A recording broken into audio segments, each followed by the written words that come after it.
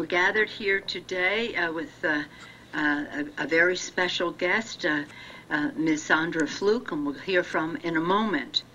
When I took my seat at the hearing last week and I looked out at the panel, I couldn't help but ask, what is wrong with this picture?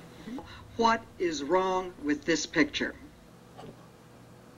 Men, what is wrong with that picture Chairman Issa said you were unqualified. I would venture to say that any woman is more qualified to talk about women's health needs across America than any man. Uh, so again, I say, what is wrong with that picture?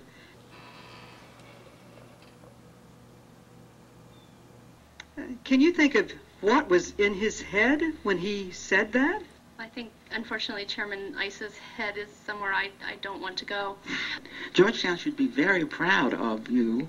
That the leadership of your committee, Mr. Cummings, was not qualified to hold a hearing on this subject. I asked myself the simple question, Ms. Fluck, Ms. Fluck. Affordable Health Care Act covers contraceptives so that women no longer have to pay extra for pills, devices, or other means of contraception.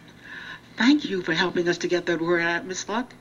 Thank you for helping us to get that word out, Miss Luck. Miss Luck.